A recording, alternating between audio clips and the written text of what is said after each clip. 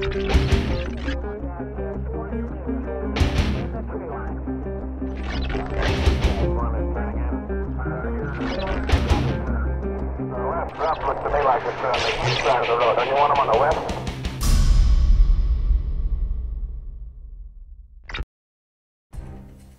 folks, this is Mike with Eagle Element.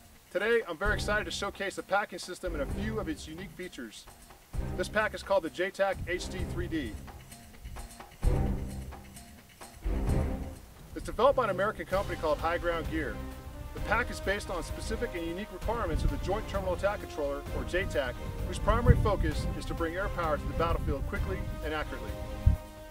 One of the main features is the ultralight carbon steel frame.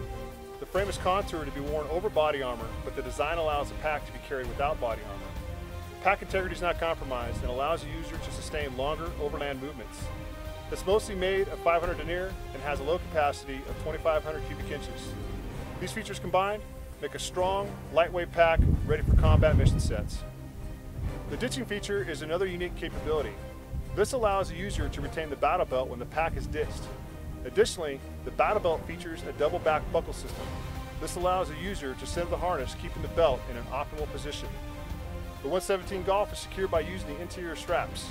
The straps accurately position the antenna ports for topside use. By keeping the radio high and close to the back, load stability is maintained. The pack has many other well thought out features, like the blowout panel that stows a releasable and reversible rain cover, which doubles as a friendly marker. Cable routing is designed into the shoulder straps that utilize zippers. The pack also has a large compression panel that allows quick stowing and extraction of items. Aftermarket hydration systems are able to be stored in this system as well. Air-to-ground operators and combat communicators, take notice. The JTAC HD 3D is a valid option for combat ops. For other operational requirements, High Ground Gear offers this same pack minus the 117 Golf Secure Strap. I'd like to thank High Ground Gear for being true professionals and developing a product that challenges the status quo. This is Mike.